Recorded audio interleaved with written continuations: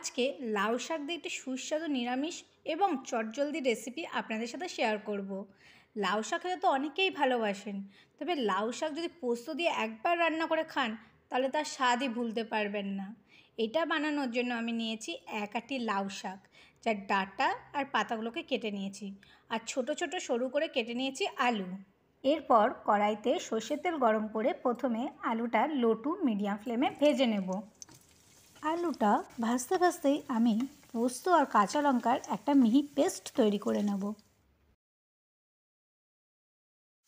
অপর দিকে আলুটা ভাজা হয়ে গেলে আমি একটা প্লেটে তুলে নিয়ে ওই তেলের মধ্যেই কালো জিরে আর শুকনো লঙ্কার ফোড়ন দিয়ে নেব।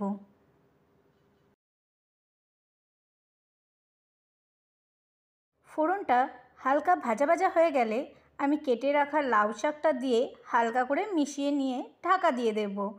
আর এই রান্নাটা পুরোপুরি আমি ঢাকা দিয়ে করব। কিছুক্ষণ পর ঢাকাটা খুলে নিয়ে স্বাদ মতন লবণ ও হলুদ অ্যাড করে ভালো মতন মিশিয়ে নেব।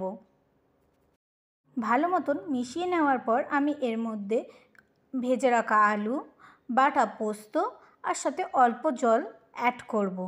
এরপর এই রান্নাটাকে আমি ভালো মতন মিশিয়ে নেব। মিশিয়ে নেওয়া হয়ে গেলে ফ্লেমটা লোতে রেখে কিছুক্ষণ ফুটিয়ে নেব। তবে বাটা পোস্ত বেশিক্ষণ রান্না করবেন না, এতে স্বাদ নষ্ট হয়ে যায়।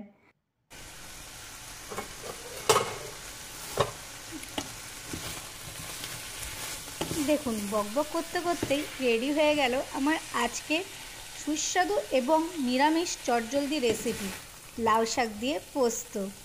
এটি গরম ভাতের সাথে খেতে ভীষণই ভালো লাগে।